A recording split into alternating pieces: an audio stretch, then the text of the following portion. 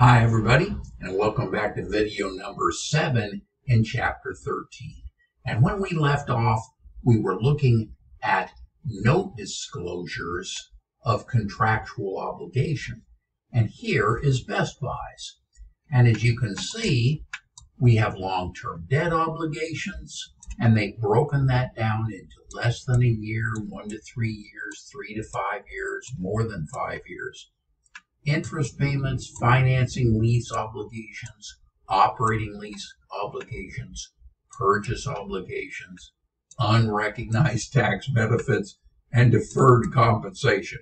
Quite a listing there. So you can see that note disclosures generally indicate the nature of liabilities, maturity dates, interest rates, call provisions, conversion privileges, restrictions imposed by creditors and assets designated or pledged as security.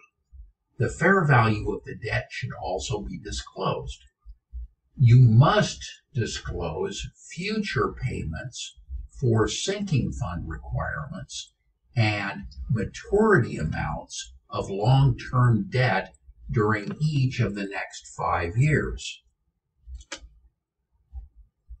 So if we look at this for Target Corporation here, we can see they have done, they have their current liabilities here, but their note is showing the carrying value and maturities of their debt portfolio. And as shown, they show what's due in the next periods. The total note and debentures the swap value adjustments, finance lease obligations, and amounts due within one year, and the long term, therefore, the difference of 11 billion 338,000. So they also reflect a weighted average stated interest rate as of year end. The required principal payments on the notes and debentures over the next five years are shown here.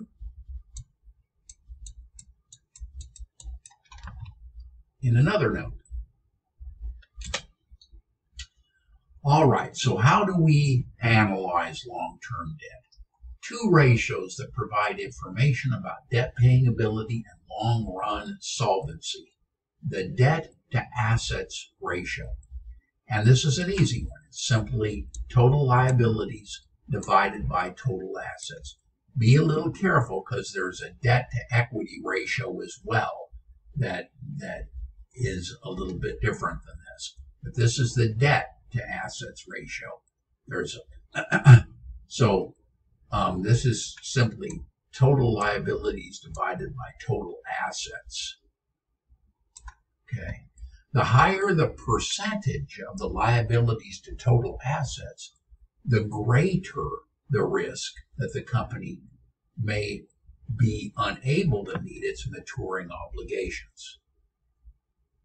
Okay, this is a measurement of long term solvency. Solvency meaning the company's ability to stay in business. An insolvent company is a bankrupt company. Okay, two ratios that provide information about debt paying ability and long run solvency are one that the banks always use is the times interest earned. And here we're going to take the net income, add back any interest expense, add back any income tax expense. Normally that's going to be your operating income, but not always. But that we're going to divide by the total interest expense, and that tells you how many times the company can pay its interest payments when they come due with their current earnings, right? A bank very interested in getting itself paid. Okay, so let's look at Target. Target has total liabilities 30,946. And um, that's an average liability, I think, um, total liabilities. Okay. And so um, total assets of four, four, 42,779 million. They add back the interest expense of 477 million and 921 million, and they have income from continuing operations of 3,281 million. So if we look at that, our debt to assets, 72.3%. It's got a declined, a, or it's improved a little bit over 2019. The times interest earned has improved as well from 8.99 to 9.81 times. So this is not a ratio now, this is a times and this is a percentage. Okay, accounting for debt restructuring. Here, troubled debt restructuring occurs when a creditor, quote, for economic or legal reasons related to the debtor's financial difficulties, grants a concession to the debtor that it would not otherwise consider, unquote. So here we have our loan origination, the loan impairment, the modification of terms, and then maybe bankruptcy. So it involves one of two basic types of transactions. One, settlement of a debt at less than its carrying amount. Or two, um, continuation of the debt with a modification of the terms. So the troubled debt restructuring can involve either bullet point one, a transfer of non-cash assets real estate, receivables, or other assets, or bullet point two, the issuance of the debtor's stock. The creditor should account for the non-cash assets or equity interest received at their fair value. The creditor, right, at their fair value. So let's take a look at an example. American City Bank loaned $20 million to Union Mortgage Company. Union Mortgage cannot meet its loan obligations. American City Bank agrees to accept from Union Mortgage real estate with a fair value of 16 million in full settlement of the 20 million dollar loan settlement. The real estate has a carrying value of 21 million dollars on the books of Union Mortgage. American City Bank, the creditor, records the transactions as follows. Land, $16 million. Allowance for doubtful accounts, $4 million. And we're saying that's an allowance for doubtful accounts because they have not officially gone bankrupt at this point in time, they being Union Mortgage Company. And then the note receivable from Union is going to go away with a $20 million credit. The bank records real estate at fair value. Further, it makes a charge to the allowance for doubtful accounts to reflect a bad debt write off. Okay, at this point, it's a bad debt. So, Union Mortgage debtor records this transaction as follows Notes payable we're going to make that note go away, zero it out. And we have a loss on the disposal of land because it's being shown here at a fair value of $16 million. And it's on the books. Um,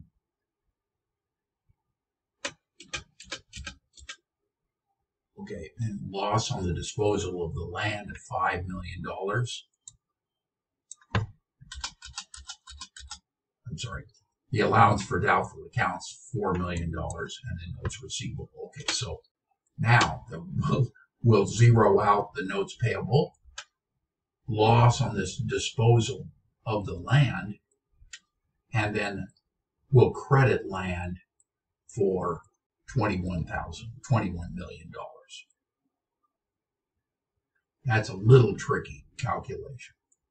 Okay.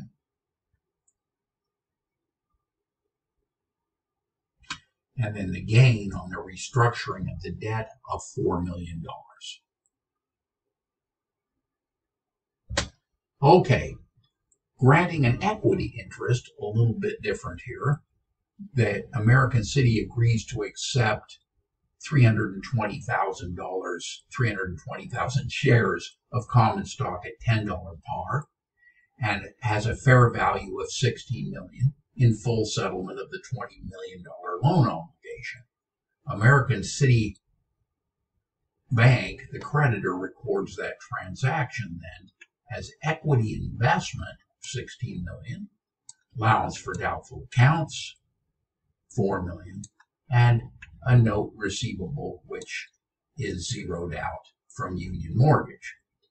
If the stock as an investment at fair value, as an investment at the fair value at the date of restructure, Union Mortgage, the debtor records the transaction. It's going to zero out its note payable. It's going to issue 320,000 shares at 10 bucks, 3.2 million dollars, paid in capital in excess of par. That'll take that to 16 million total. So paid in capital is going to be 12 million 800,000. And then the gain on the restructuring of debt would be $4 million. It records the stock issued in the normal manner. It records the difference between the par value and the fair value of the stock as additional paid in capital. Okay, so if we grant that equity interest, American City Bank agrees to accept from Union the 320,000 shares of common stock, $10 par value, that has a fair value of 16 million in full settlement of the $20 million loan obligation. American City Bank, the creditor, is going to record the following transaction. Note payable, we're going to zero that out for $20 million. Common stock, we're going to, we're to uh, credit common stock for 3,200,000. We're going to credit paid in capital in excess of par for 12,800,000. And credit gain on the restructuring of debt for $4 million. So, modification of terms. Here, a debtor's serious short run cash flow problems will lead it to request one or a combination of the following modifications. One, here, reduction of the stated interest rate. Two, the extension of the maturity date of the face amount of the debt. Three, reduction of the face amount of the debt. And finally, four, reduction or deferral of any accrued interest. So let's take a look at this example with no gain for the debtor. On December 31, 2024, the Morgan National Bank enters into a debt restructuring agreement with Resorts Development Company, which is experiencing financial difficulties. The bank restructures $10,500,000 loan receivable issued at par.